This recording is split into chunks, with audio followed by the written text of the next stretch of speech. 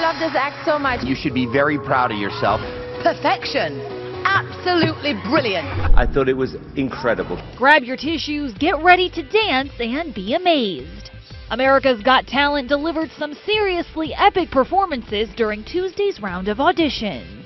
We will have an opportunity to change the lives of our families and bring them to America. Meet Ukrainian dance group Light Balance. They left their home country for America and a shot at a better life.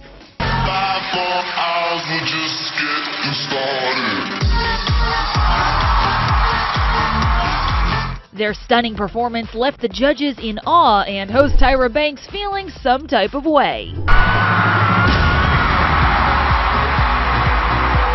But they're not the only squad that made it through. Here's the Just Jerk dance crew from South Korea.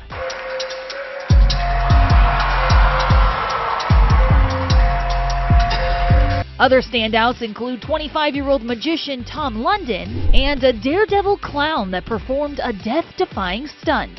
But in typical AGT fashion, they saved the most heartfelt audition for last.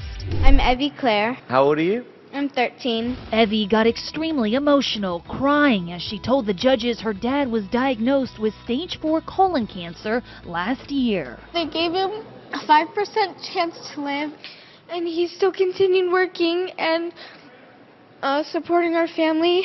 And so tonight I'm here to sing for him.